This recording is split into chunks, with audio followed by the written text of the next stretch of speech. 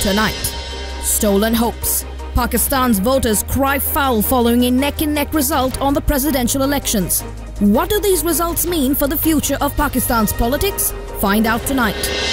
Free at last. Qatar releases eight imprisoned Indians following months of back and forth espionage claims, with the future of the two nations' diplomatic ties finally seeing some sense of stability.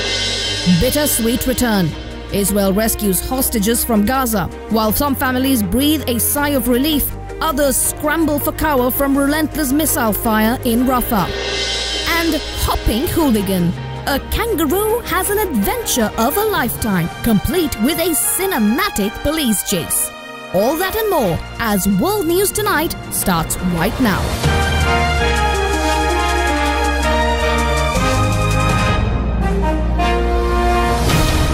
This is Ada Derana World News Tonight. Reporting from Colombo, here's Anuradhi Vikramasinghe. A very good evening. Welcome to World News Tonight. Thanks very much for your time tonight. We have some updates for you from across the globe, some that developed over the weekend and some that are unraveling as we speak. But first, we begin with what could be one of the final few chapters of the Pakistan elections.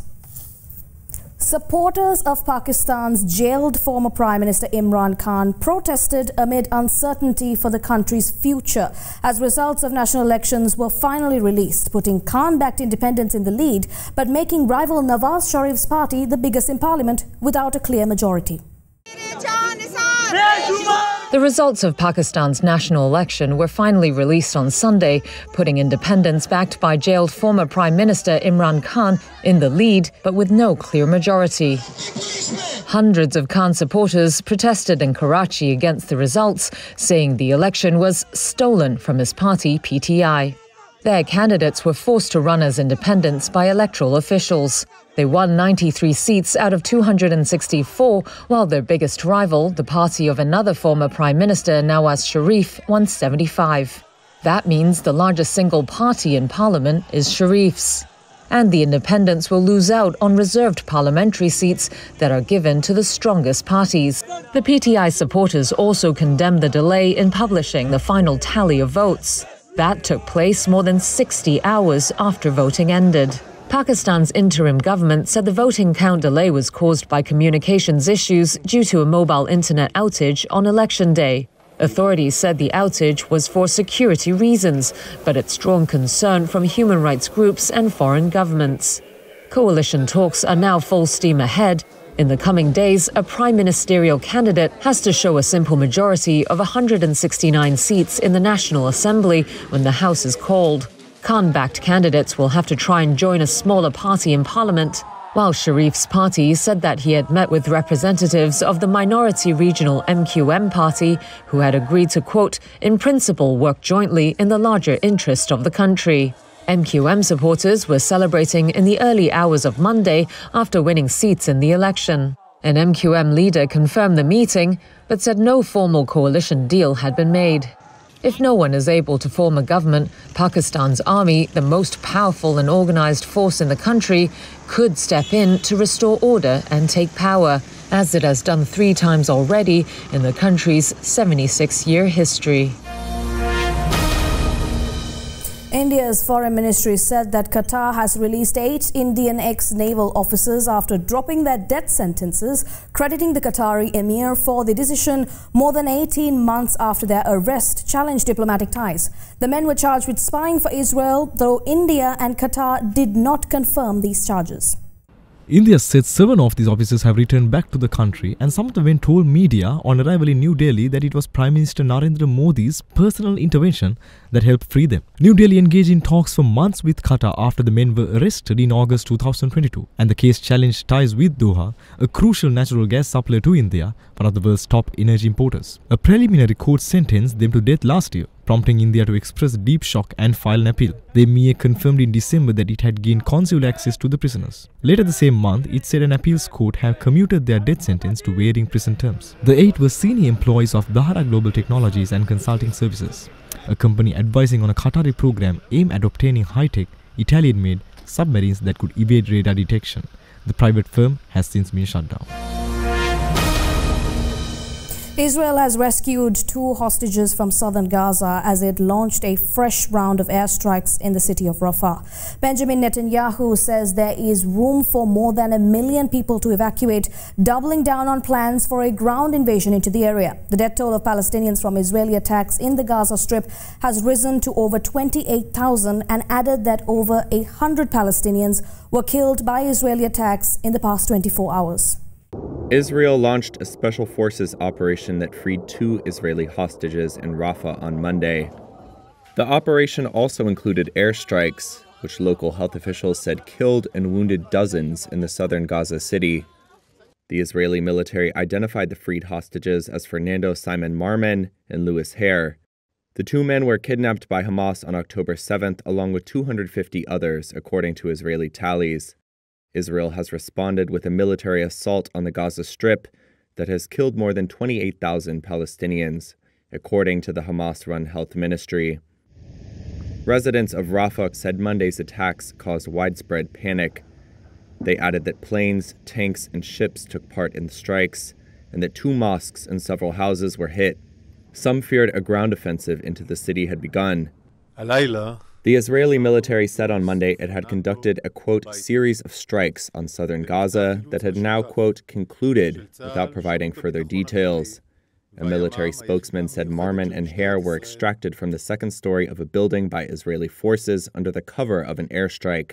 The military said they were in good condition and had been taken to a hospital near Tel Aviv. Israeli Prime Minister Benjamin Netanyahu said in an interview aired on Sunday that, quote, enough of the 132 remaining Israeli hostages held in Gaza were alive to justify Israel's war in the region. His office has said that it had ordered the military to develop a plan to evacuate Rafah and destroy four Hamas battalions it says are deployed there. Hamas run television on Sunday quoted a senior Hamas leader as saying any ground offensive in Rafah would, quote, blow up the hostage exchange negotiations. The same day, Egypt warned of, quote, dire consequences of a potential military assault on Rafah, which lies near its border. Aid agencies say an assault on Rafah would be catastrophic, as it is the last relatively safe place in an enclave devastated by Israel's military offensive.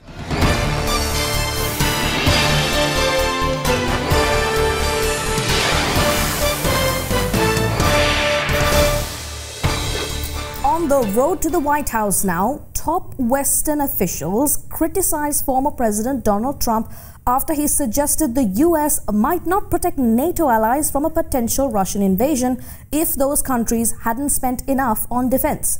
Trump's comments came during a weekend rally in South Carolina in which he appeared to recount a meeting with NATO leaders.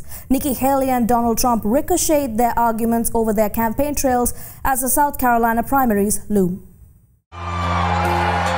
Former President Donald Trump under fire tonight after saying he would support Russia attacking U.S. allies that don't pay what he deems their fair share. I would encourage them to do whatever the hell they want. His comments threatening to upend the NATO alliance if he retakes the White House and sparking swift backlash from both sides of the aisle. The White House slamming the comments as appalling and unhinged. And this reaction from Mr. Trump's sole GOP opponent, Nikki Haley, on the campaign trail today. Trump said the most irresponsible thing. You certainly don't want to give them the right to invade a friend. Haley also firing back at Trump for questioning why her husband, who's deployed overseas, is not by her side. What happened to her husband? Where is he? He's gone. Donald Trump clearly doesn't understand that in South Carolina, we love our military men and women. The former South Carolina governor betting big on the Republican primary in her home state, despite trailing her former boss there by double digits. Haley trying to capitalize on the age gap between her and the race's two frontrunners. Do we really want to have a country in disarray and a world on fire and have two 80 year olds as our candidates? The issue of age, a political vulnerability of President Biden's, taking on a new significance in the days after the special counsel's report on Mr. Biden's handling of classified documents revealed scathing allegations about his memory struggles, which the president denies.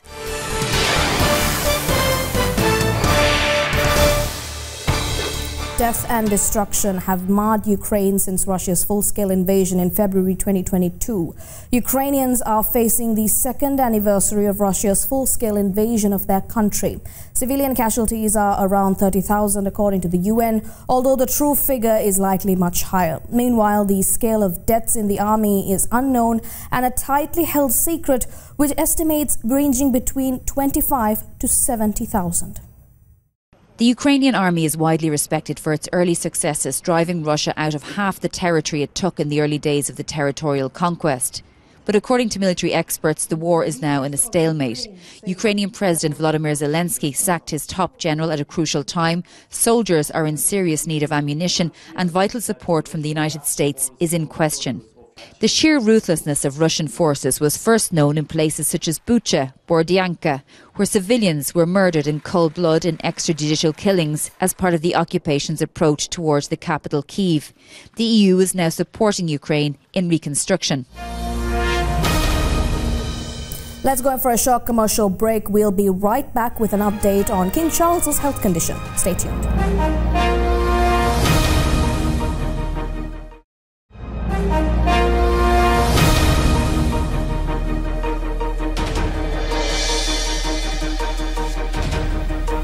Welcome back.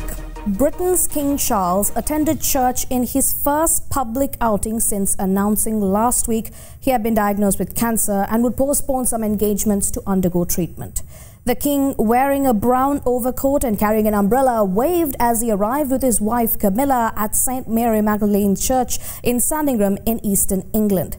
Charles, who is spending time at his rural Sandringham estate, issued a message expressing gratitude to well-wishers following his diagnosis. While undergoing treatment, Charles has postponed public engagements but is planning to continue with much of his private work as monarch, including having his weekly audience with the Prime Minister and dealing with state papers.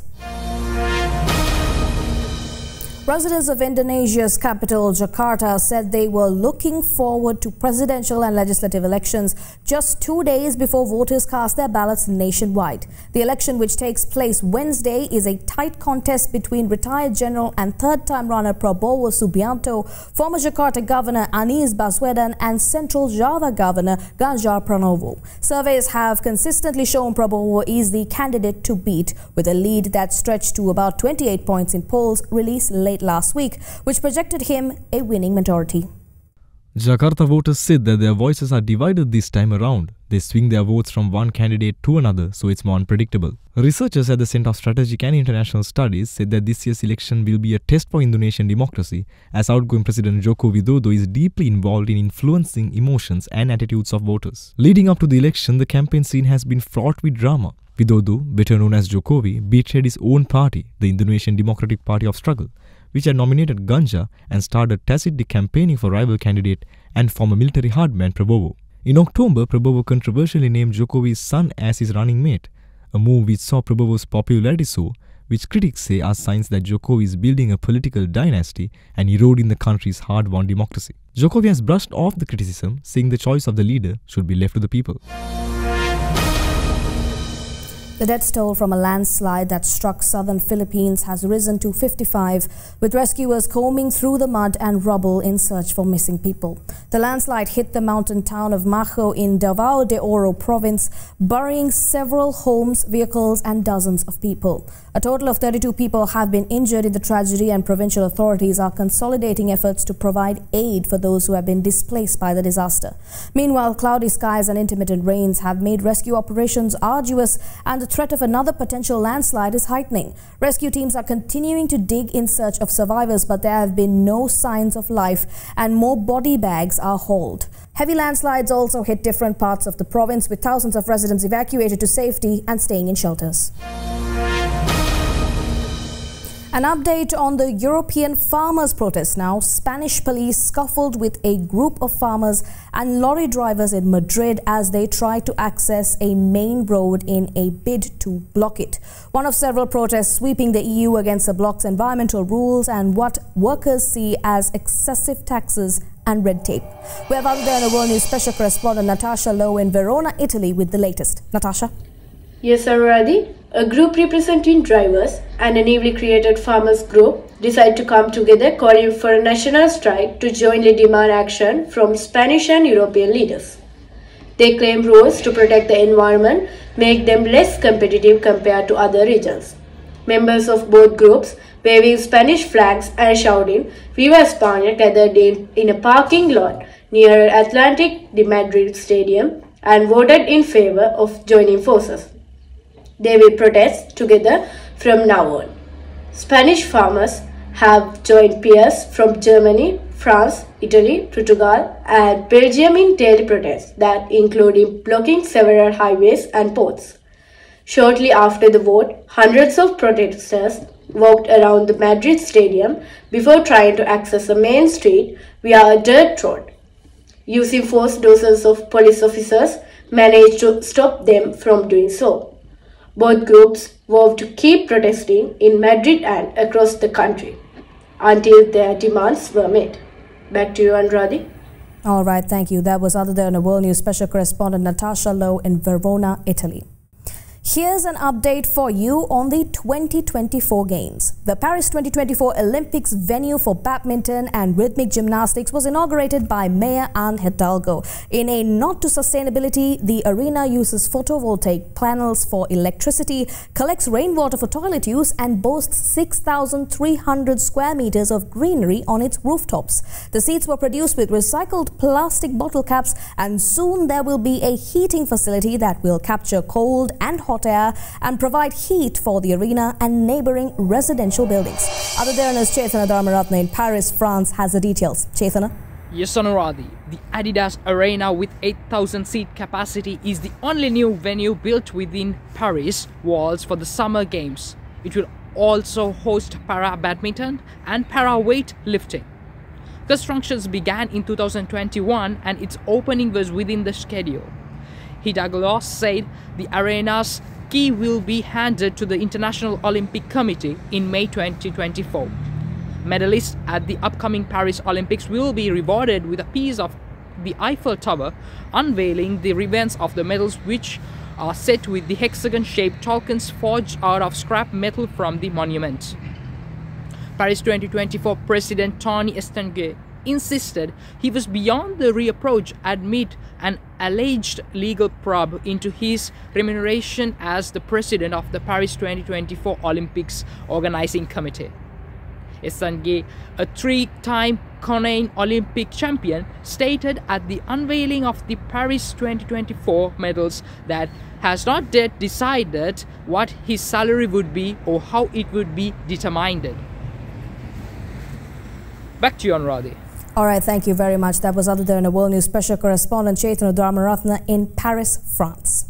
Yemen's Iran-aligned Houthis said they had targeted a cargo ship in the Red Sea, the latest such strike since the start of the Israel-Hamas war in Gaza. The Houthis identified the vessel as the Star Iris. The group's military spokesperson Yahya Seresa said in a televised statement the ship was American, but maritime shipping trackers said the Marshall Islands flagged ship was Greek-owned.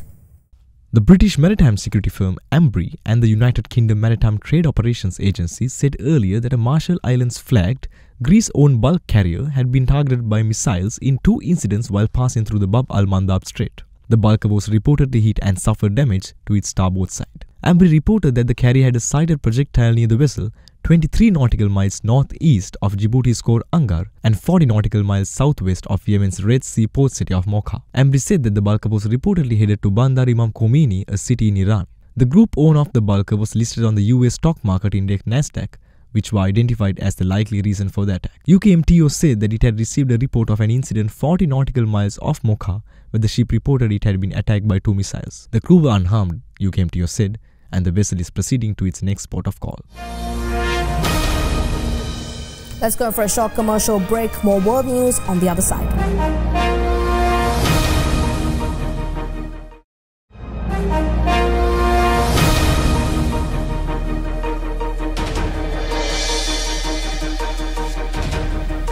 Welcome back. What's the difference between organic matter and plain old dirt? Well, apparently there's more ways to distinguish the two than one, and one man is setting out to make that difference very clear. These may look like piles of dirt to you, because that's what they are. What they are not is piles of organic material wasting away in a landfill. That's because Neil Brooks has been collecting materials from local businesses around Phoenix that he can turn back into soil. Instead of taking it to the landfill and clogging up the landfill, we grind it up, we process it, and we create soil products. Everything from growing seeds to putting on the bottom of the bed to putting on, depending on what your needs are. So, whether you're growing a field of crops or planting herbs on your windowsill, the soil being created from community scraps can go back to every member of the community who wants it. We will be diverting more than the City of Phoenix does with our composting project in the next six months. And Brooks has a whole team of workers turning the soil and watering it to preserve its nutrients. He says he's hoping people from all over the city will want to take part in this initiative for a cleaner, greener city. The cost of fuel and the problems it takes now to, to build more and more dumps. We have, we have less and less land, we have less and less water. So we really want people to understand that it starts right in their backyard. It starts in your apartment in a container. A hopper is on the loose. Well, at least he was until authorities found the cheeky guy and wrangled him to safety. Here's the short but exciting adventure of one kangaroo in the thick of the night. There's a kangaroo in my uh, apartment complex. One may expect to see kangaroos in a zoo, and anyone heading to Australia probably wants to have a glimpse of the marsupials in the wild.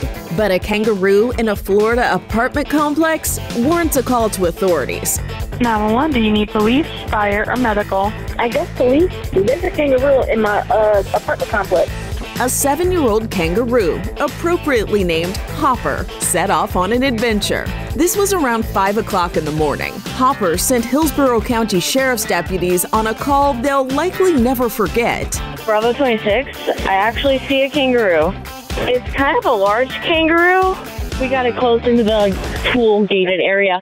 It took about 45 minutes to wrangle Hopper, thanks to the Sheriff's Department Agriculture Unit. Deputies fed the kangaroo while his owners were tracked down.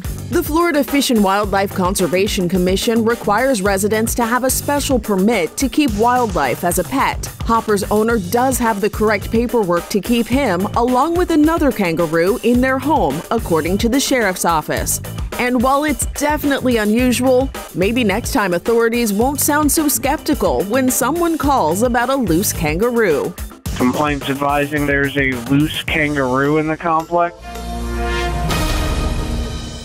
First a squirrel and now a kangaroo. Animals are having way too many run ins with the law these days. And that's all the stories we have for you tonight. Wrapping up, we'll see you tomorrow again for more updates on key global events. See you next time. Have a good night.